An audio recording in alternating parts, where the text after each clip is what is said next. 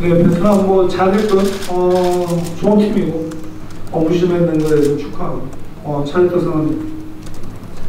Ờ, Tôi nghĩ là đội tuyển Việt Nam thì đã chơi tốt ngày hôm nay và tôi xin chúc mừng đội tuyển Việt Nam vì đã đi tiếp và giữ sạch lưới của mình. 이번 베트남 경기장은 우리가 5월 때 왔을 때는 되게 쉽게 좋았던 경기장인데 이렇게 망가지는 줄 몰랐다. 어, 그런 부분이 좀 많이 아쉬워서 우리가 오늘 제대로 플레이를 못했던 것 같아요.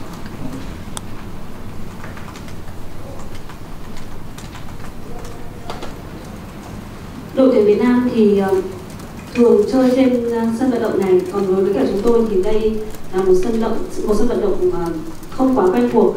Và ở cái bàn thắng đầu tiên thì thủ môn của tôi của chúng tôi đã không làm tốt cái vai trò của anh ấy. Và thực sự thì hôm nay chúng tôi cũng đã chơi không tốt so với cả phong độ của mình so với cả cái trận đấu trước chơi ở trên sân Jakarta.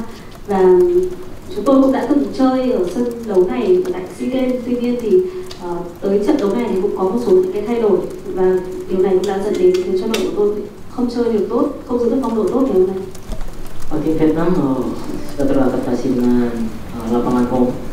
Uh, memang beda sekali lapangannya untuk uh, kami sendiri. Uh, dan uh, kemasukan gol Ờ, xin, xin được hỏi ông là trước trận đấu này thì ờ, ông có nói rằng là ờ, khi mà ông đến với Đông Nam Á thì ờ, ông cho rằng là Indonesia đã ngang hàng với ờ, Thái Lan và Việt Nam tại Đông Nam Á nhưng mà sau trận đấu này thì ờ, ông còn giữ cái quan điểm đấy không? Ông ờ, giải thích thế nào về cái trận thua này với người Indonesia? Cảm ơn ông. 어, 저는 뭐 인도네시아 축구 발전에서 앞으로 계속 어, 더 노력해야 됩니다. 어, 그렇게 생각하고 있습니다.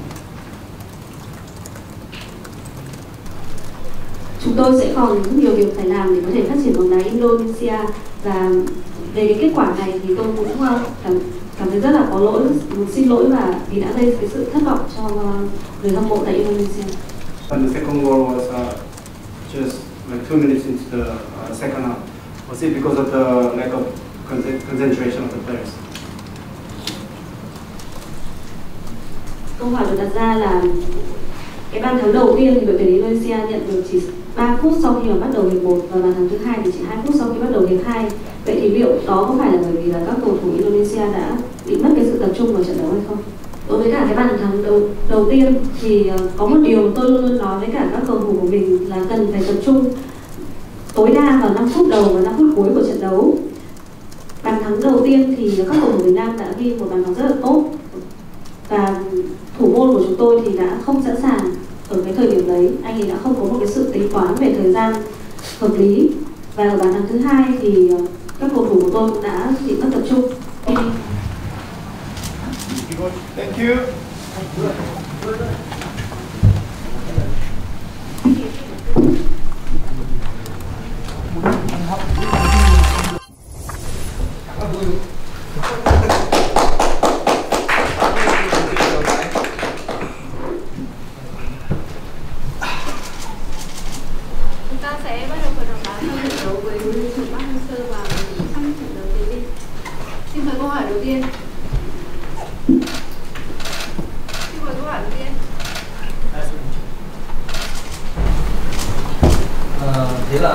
chính là xin chúc mừng ông Hoàng Sơ.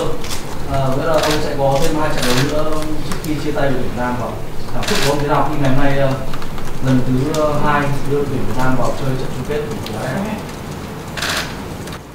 진출했다는 것도 의미가 있고 또 이 일을 성장해서 결승까지 진출하게 만들어주는 우리 선수들이 너무나 자랑스럽습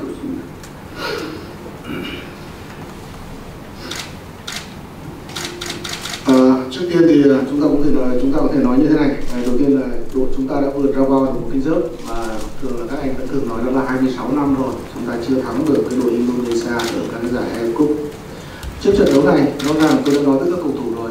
Các anh các anh sẽ phải phá vỡ những cái những cái ờ, cái, cái kỵ dơ như thế này để không bao giờ để lại những điều đó cho các bạn đàn em trong tương lai. Tôi đã dặn dò các bạn như vậy. Ngày hôm nay thì chúng ta có một trận đấu trên sân nhà. Chúng ta đã phá vỡ những cái, gọi là những cái kết quả đối đầu trước đây không tốt như thế, phá vỡ cái kỷ dư đó. Và nó có một ý nghĩa quan trọng nữa là chúng ta vào đến trận chung kết. Tôi thực sự tự hào về các cầu thủ của mình. Họ đã nỗ lực hết sức ngày hôm nay. Trước trận thì huấn luyện viên xin có đăng trên Instagram để tấn công riêng về cá nhân Văn Hậu nếu mà vào góc độ ấy. Và hôm nay thì các cầu thủ Indonesia có những tình huống ăn tại để cố tình câu thẻ đỏ với Văn Hậu ông nghĩ sao về vấn đề này? 상대팀을 자극하거나 뭐 또 신경전을 벌이는 것에 대해서는 뭐 그렇게 큰 의미를 두지 않으면 좋겠, 좋겠 고 저는 뭐 그 페이스북을 보지 못했기 때문에 거기에 대해서는 제가 무슨 답변을 할 수 있는 상황은 아닌 것 같습니다. Ờ, rõ ràng là tôi với lại huấn luyện viên Sin ấy, thì chúng ta cũng biết rằng là trước trận đấu thì thường chúng tôi các các anh chị cũng biết là chúng tôi phải lo lắng và chúng tôi khá là nhạy cảm về các cái gọi là kết quả của trận đấu. Cho nên có thể là chúng tôi cũng có những cái lời có những cái ờ, lời qua tiếng lại. Nhưng mà sau trận đấu khi mọi việc đã mãn ngũ rồi thì quan hệ chúng tôi cũng trở lại quan hệ bình thường thôi. À, những cái việc mà nếu như chúng ta gọi là khiêu khích đội bạn hoặc là chúng ta khiêu khích cái cầu thủ uh, đội bạn như thế thì tôi nghĩ là cũng không không, không nên. À, tôi thì ờ, tôi không nếu có nếu có còn tôi thì tôi không xài facebook hay là không mạng xã hội gì cả. Cho nên thực ra thì tôi cũng không thể đánh giá chính xác nội dung này. Ờ, chúc mừng Tiến Linh có cú đúp ngày hôm nay và dường như anh cũng đã à, tiến thêm một bước trong cái à, kỷ lục ghi bàn cho đội tuyển quốc gia. Thì Tiến Linh nghĩ như thế nào về về chuyện này và Tiến sau khi là trận thứ hai sẽ bước vào chung kết ờ, uh, kết thúc Ờ, Ờ, cái việc ờ, à, Linh đang có một cái phong độ khá là tốt và cũng đang ờ, thi đấu ờ, à, tự tin hơn ở giải đấu lần này và điều đó cũng Linh cũng đóng một phần công sức của mình vào ờ, chiến thắng của đội và cái việc mà Linh cũng không quá quá là quan trọng cái việc đang đứng thứ mấy trong những cuộc trận ghi bàn nhiều nhất của đội tuyển gia cái quan trọng là đội tuyển đi tới cuối cùng và Điều thứ hai được ờ, vào trận ờ, chung kết AFF ờ, cũng là một điều rất là hạnh phúc cho cũng như là tất cả cầu thủ Việt Nam và hy vọng là trong trận đấu sắp tới đội tuyển Việt Nam sẽ giành được chiến được để chiến thắng. về mặt chuyên môn thì ông ấy có thể đánh giá kỹ hơn về trận đấu ngày hôm nay của đội tuyển Việt Nam không? Và thứ hai là giữa hai trận đấu lượt đi và lượt về thì chúng ta có điều chỉnh nào về mặt chiến thuật không? Cảm ơn ông.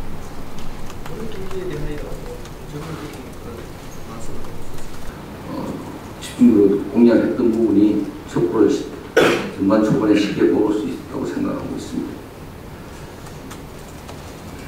Ờ, sau cái trận đấu đầu tiên Indonesia thì chúng ta cũng biết là chúng tôi đá với đội hình 3-4-3 Đấy, ở cái trận đó thì chúng tôi đã có kết quả hòa và chúng tôi về nước thì ờ, sau khi về nước thì thực sự là chúng tôi cũng đã phân tích rất là kỹ ờ, phân tích video rất kỹ về đội Indonesia và chúng tôi biết rằng là họ lối chơi của họ là rất điển hình đó là lối chơi họ dựa vào các cái tình huống phản công nhanh Ờ, chúng ta cũng biết là cái bàn mua ấy bàn mà tiến đi bàn từ rất sớm ấy, thì chúng tôi biết rằng là đó là kết quả phân tích của chúng tôi bởi vì chúng tôi biết rằng là đội này ấy, họ có bộ khá yếu.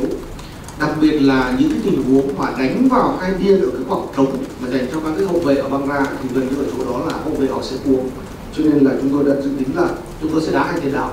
Và khi chúng tôi đá hai tiền đạo như vậy thì chúng tôi sẽ đá bóng điểm rơi. Ở những cái điểm rơi như vậy thì chúng tôi sẽ tranh chấp bóng và chúng tôi sẽ tấn công tiếp ở chỗ đó. Và đó là những cái cái, cái, cái cách chúng tôi đã tiếp cận cho nên hôm nay chúng tôi đưa ra hai tiền đạo.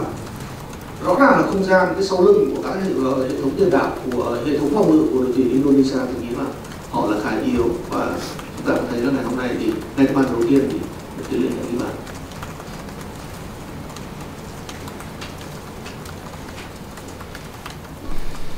The question is, professionally, how do you evaluate, evaluate this game today? And is there any change in tactics compared to the first leg? And the answers, for the first match we played 3-4-3 and we have the draw result. After come back to the country, we uh, had a detailed tactic about the Indonesian team and we found that they play with the uh, counter, counter attack. And for the first uh, goal, we have the goal very early. It's the result of the an, analyze. And uh, we realize that Indonesia team they have a weak points in two wing. They defend the defender at that point cannot do the didn't do well, and we can find the point to get the ball, and that's why we play with two attack, two stri- striker. Ờ, câu hỏi của anh này như thế này này. Ờ, anh anh nói là sẽ nhờ tôi dịch cho nên xin phép được tôi dịch một chút. Anh nói rằng là thực ra thì ờ, cái cách nhìn qua cái cách uh, cầm quân của ông Bắc thì có lẽ là ông ấy đã gọi là um, nâng tầm về cái cách chơi bóng cách tiếp cận bóng cách chơi bóng của cầu thủ hơn là hơn là nâng cái kỹ thuật của các cá nhân của cầu thủ. Thì uh, không biết là đối với cái đó thì ông nghĩ rằng là ông cảm thấy hạnh phúc với cái điều đó hay không? Cái thứ hai nữa là ông muốn biết rằng là trước trong và sau trận đấu thì ông đã nói gì với cầu thủ đặc biệt là sau trận đấu thì ông có khen hay không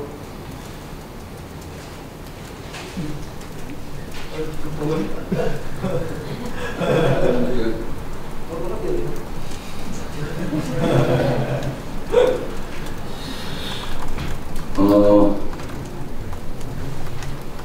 제가 5년 재직하면서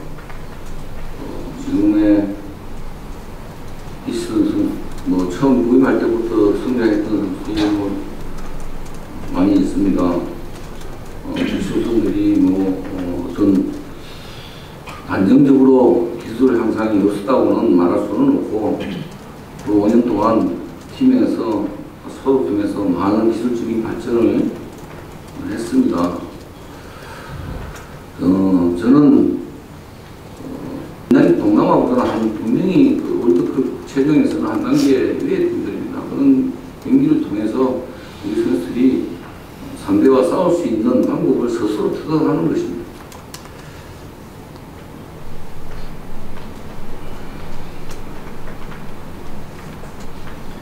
Ờ, tôi uh, năm nay là năm thứ năm mà tôi đảm nhiệm với chức vụ uh, huấn luyện viên trưởng của đội tuyển bóng đá Việt Nam. Thì từ khi đầu tới sang đây, bây giờ nói thật là bây giờ nếu mà chúng ta nói rằng là nói đúng là, là cũng có nhiều cái cầu cũng đã trưởng thành trong năm năm vừa qua.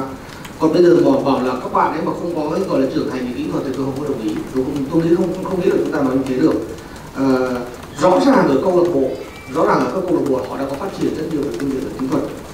Ở đây có một cái điều này cần nói nữa đó là Uh, thực ra đội tuyển quốc gia thì nó không phải là đội tuyển thanh thiếu niên mà đội tuyển nghĩa là chúng tôi không có thời gian cũng không có đầy, đầy đủ vào cái phương tiện để có thể nói rằng là phải chỉnh để sửa đổi này rồi làm tất cả mọi thứ mà mà chúng mà, mà giống như một đội trẻ. Thì ờ, tôi chỉ với phương châm đó là gì? Với cái nguồn lực mà tôi đang có tôi cố gắng tận dụng tối đa cái nguồn lực của mình à, và từ đó để tạo ra cái kết quả. Chứ thực sự là mình cũng không thể đào tạo hay là bồi dưỡng cái gì về mặt kỹ thuật cho các cầu thủ. Nhưng mà nói rằng nhưng mà có thể nói rằng là các cầu thủ của chúng tôi họ đã trưởng thành về về mặt kỹ thuật. À, sau khi được trưởng thành như thế thì tôi đã cực đại hóa các năng lực của họ và uh, chúng ta có cái kết quả. Uh, riêng đội chúng ta thì tôi nghĩ thế này như là vừa rồi thì chúng tôi tuyển Việt Nam đã có những cái trận vòng loại ờ, ở cái vòng loại cuối cùng vòng loại thứ ba của World Cup tôi nghĩ rằng là về cách chơi bóng cũng như là cái qua cái kinh nghiệm đó thì họ đã có rất nhiều cái kinh nghiệm và cái cách để vận hành trận đấu. Mà tôi nghĩ là, là họ cũng đã ở mức độ nào đó so với các đội khác ở Đông Nam Á là họ hơn một bậc bởi vì họ đã có cái trải nghiệm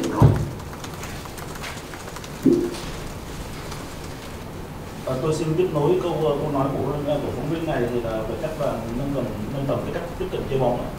thì trước trận đấu thì tôi có biết trên thanh niên rằng là ông Park không cần phải chứng minh gì cả ở Việt Nam cũng như Đông Nam Á sau tất cả những gì ông đã làm thì HD là lần thứ hai mà chung kết Air Cup thì liệu lần này cảm xúc và cái trạng thái của ông có khác gì so với năm trước?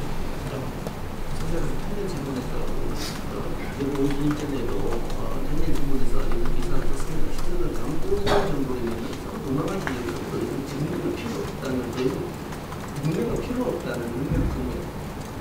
아예 이야기는 그렇게 không chứng minh đây là không cần phải chứng minh không chứng minh là về cá nhân ông hay là về đội tuyển về năng lực của ông và, và năng lực của ông đội tuyển tức là ông không cần phải chứng minh gì về năng lực của ông ở Việt Nam hay Đông Nam Á nữa những những gì ông đã làm 동남아 지역에서 감독님이 능력에 대해 더 이상 증명할 필요는 없다고 생각합니다. 그래도 그래도 이게 두 번째 결승전에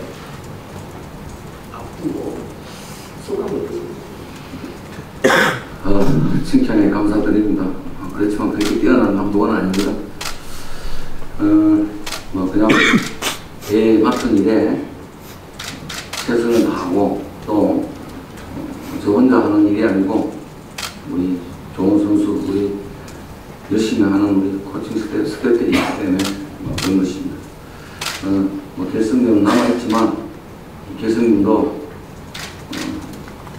결승전도 어, 저와 우리 선수들이 베트남 정신으로 꼭 한 번 더 우승할 수 있는 우승해서 우리 축구 팬과 국민들에게 선물하도록 노력하겠습니다.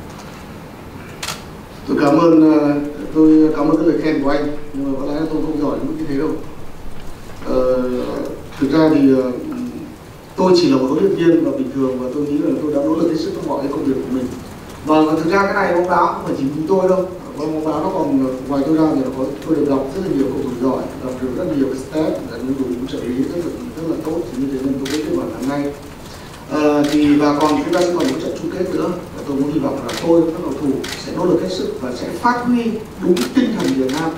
Và chúng tôi cố gắng giành chiến thắng để báo đáp cho cái tình cảm của người hâm mộ và của người dân Việt Nam.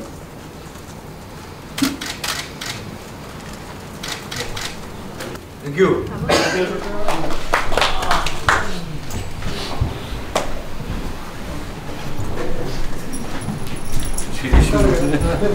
Wow.